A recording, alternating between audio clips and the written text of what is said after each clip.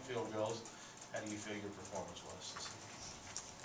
Um, I was pretty frustrated with my first half, uh, getting in foul trouble and not scoring very much. But um, like Shauna said, at halftime, it's just a new 20 minutes, and so I came out and did everything for my team. And I'm really proud of all the girls. Everyone did so good. We we followed our game plan to a T, so um, was nothing more than we could do.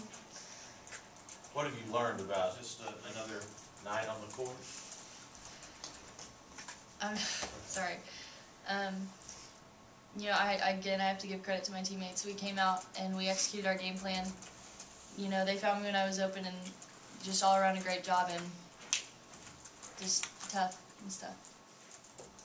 Um, you know, one of the things I told the girls uh, when we got in the locker room was, you know, um, had a lot of crazy losses in uh, Bartlesville and in the conference tournament, um, and some good wins in the conference tournament. But um, I've never been more proud of the way a team played than I was tonight. Um, I felt like these kids, I mean, extremely young, really none of them any playing experience in the conference tournament except for Autumn, and um, the way they came out and fought tonight and stayed in it the whole game and um, really gave us a good chance to win at the end. Um, I don't think I've been more proud of uh, how hard a team has played uh, than I was tonight.